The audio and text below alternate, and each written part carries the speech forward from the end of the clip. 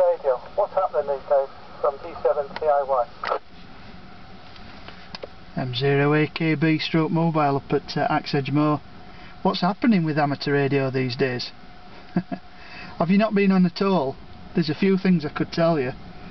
I'm actually um, doing a bit of a video. I've got a YouTube page, and uh, with your uh, with your permission, sorry, I'd, uh, I'll, I'll post this on YouTube.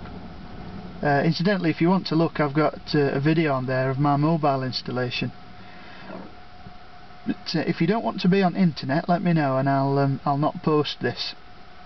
But I'll just pass it back to you, Dave. Just uh, just so you can say a few words. I don't like to make the videos too long. I like to keep them to two or three minutes because if they're too long, they take ages. They take hours and hours to upload. G7 um, TIY uh, down in the Wirral on its 290 Mark 1. Are you on just on standard power? Is it on 2.5 watts? I wonder that, Dave. M0 AKB mobile up at uh, Axe Edge Moor, over. Yeah, standard 2.5 watts. That's it. That's all I'm pushing out this end.